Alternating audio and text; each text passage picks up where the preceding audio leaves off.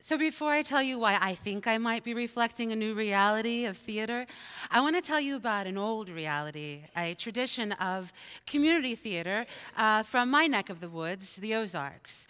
So, in the Ozarks, um, Arkansas, Missouri, between 1880 and 1910, there was a popular form of entertainment called the Friday Night Literary the community members from this very rural, remote area would come together weekly to put on a variety show of sorts. And mind you, these are not artists, right? These are not theater artists, they're community members.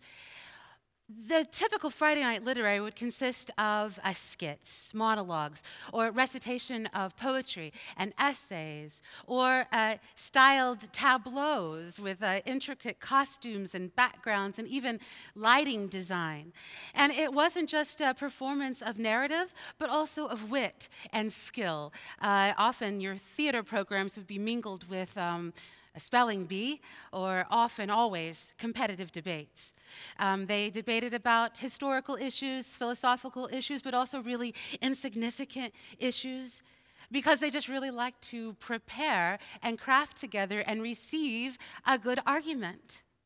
And these people, they did this weekly.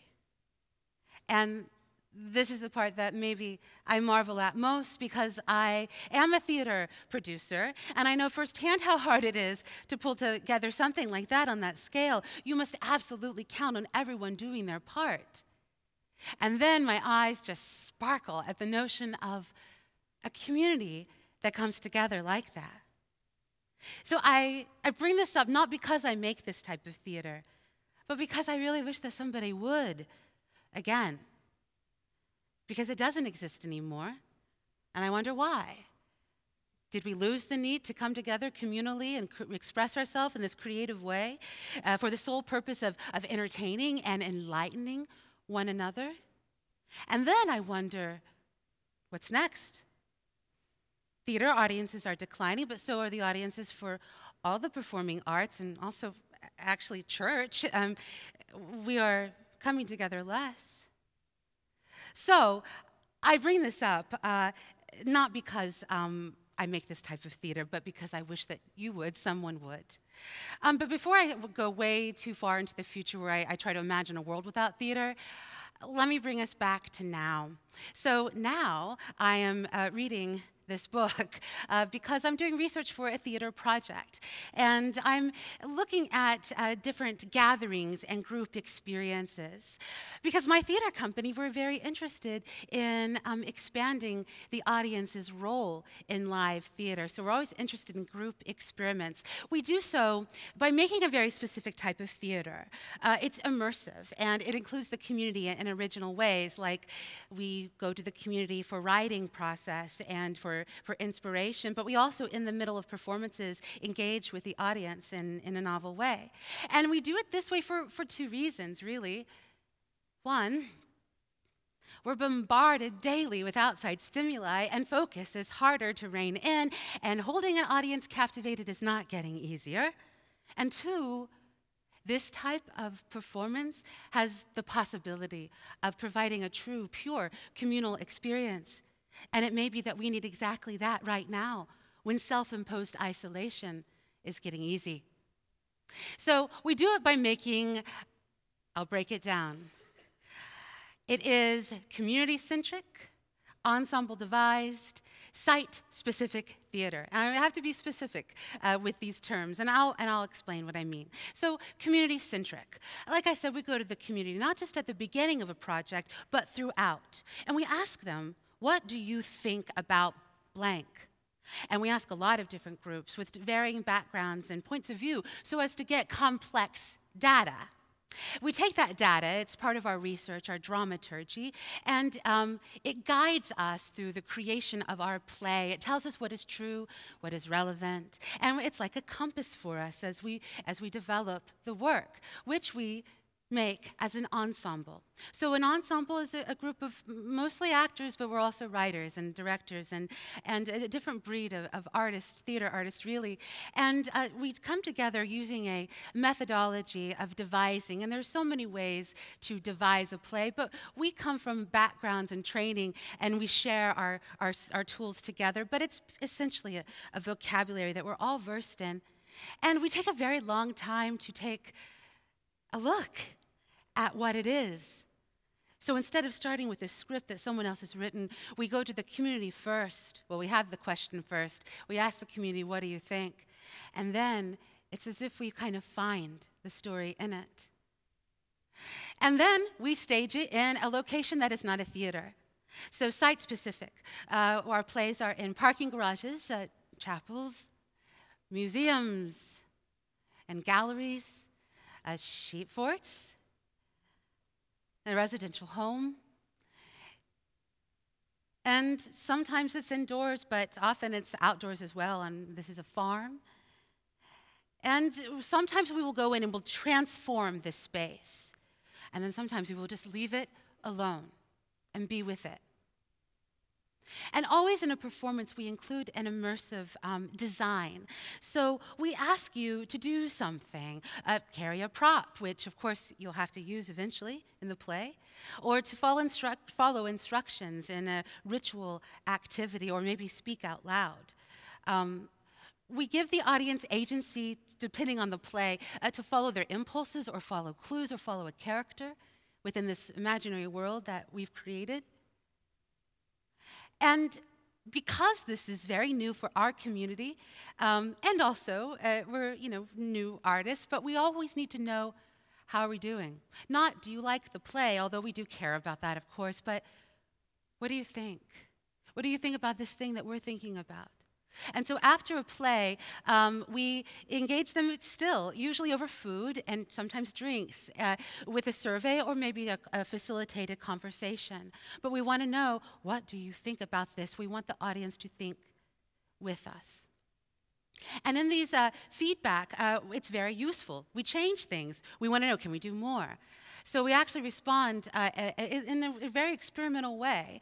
Um, but also the feedback is, is honestly, it's, it's validating uh, because it's a new thing in our community and we want people to, uh, to come and experience it. We want to know uh, what other comments. And, and in general, we get things like, this is the weirdest and coolest thing I've ever done. or, uh, I feel different now. Are you in my head? And my favorite one, and this is really, truly what I think it is that we're trying to do. The quote was, even though I enjoyed this feeling of togetherness, I know that it is opening up my heart and possibly my brain. And they're right.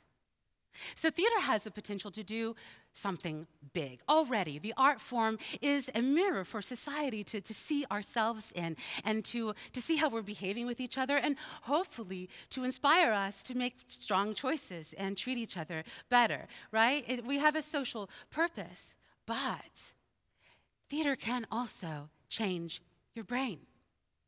So there's a part of your, your brain that is uh, considered the novelty center. Um, and it's activated uh, when uh, there's unexpected stimuli. Well, this this novelty center actually has quite a bit to do with your learning capacity. And uh, it's because it's connected to the, the hippocampus, which is the learning center of your brain, and then the amygdala, which is the emotional center of your brain. And we all know about dopamine, right? Yeah, we like dopamine. It's the reward chemical. And studies show that quite a bit of it is released in the context of a novel encounter. And that good feeling is rewarding and we'll seek it again. But essentially, this is affecting our brain and possibly growing. So that means that we have a chance through, oh, let's say, mind blowing site specific theater to grow our hearts and open our minds. And of course, I'm excited about that. That's the kind of theater I would like to make. Because I'll be honest, I'm afraid that we as an art form might be fading away. I can maybe not imagine it in 100 years, right? But in 500? Sure, it's not inconceivable. And I don't want that because theater is important. It brings us together to witness the stories of humankind. But this is why I think theater has a chance. If we evolve along with the contemporary brain, and we're making our theater uh, to uh, in, incite novelty and to, to spark our brains, then whatever story we're telling and sharing together is so important. And in a sense, we can raise ourselves to a higher consciousness, a group think. And then what kind of thoughts could we have together there? So, I'm a romantic idealist. and I obviously really love theater. But I'm actually worried. I'm not worried just, just about theater. I'm worried about us. I can see this world changing in a way that is perhaps making togetherness harder to achieve. In a world where we don't necessarily have to be together. Well, listen, I enjoy the virtues of technology. I celebrate them daily on, uh, for its uh, shiny convenience and, and their warm, fuzzy feelings. But I wonder if it could be having an adverse effect. I've got to wonder. I do see that perhaps maybe we can't achieve togetherness. Perhaps one day we all become hikikomori. Hikikomori is an individual, a modern day hermit, a recluse, a person that does not leave their room and exists entirely online. And Hikikomori last year, this time it was reported 200 million people of Japan's, sorry, 500 million people of Japan's 2 million population is hikikomori. So it is happening. Self imposed isolation is a thing. And it's not just in Japan, it's happening here. It's happening in other places in the world. I'm just saying, guys, we've got to be careful to not become hikikomori. And they say it happens because of the overwhelm of the digital age and the pressures, and because it's easy to not leave your house anymore but that's okay. That's where I come in, or rather, my theater project. So, the current project I'm working on, the reason why I'm reading that book, by the way, theater artists have very meandering research, but I am doing a project with the theater company about technology and social media. It's called The New Now. And uh, it is basically, we're asking, how are we different now? How is technology, social media, instant access, how is this affecting you as an individual and us as a culture and a community? And of course, that's a huge topic, so it's taking us several years. But essentially, we're asking what is different, and, and, and we think it's important to know. So, how is romance different in the new now? How is conflict resolved differently now? because everything is different, we've discovered, we've learned through our research, almost everything is different now from how we shop to how we mourn. And as a project, I think ultimately we're just trying to understand this new world so that we can make well informed and conscious choices as we navigate through this very dizzying space. And ultimately, that's actually what we're doing with the premise. The, the ensemble, we are employees, customer service agents uh, for this omnipotent, uh, ambiguous, it's still in development, uh, corporation slash culturation, uh, but we're here to help. We want to make sure that you get the best and not the worst of the new now. And that actually is this fictional role. This actually is what we're doing as a theater company in our community so the, the, customer service agents, they actually go on the journey themselves through a series of trials of technology, and we bring the audience with us. But they go through it also. We go through it also. And we make this kind of theater because we enjoy it. It makes us feel like something's really happening to us on a cognitive level. Um, it makes us feel like we belong with the community in a very special way. And in a world where some really amazing things are possible because of technology, my 92 year old grandmother can Skype in from California to watch my family grow. The answer to almost anything I wonder about is probably available at my fingertips within seconds.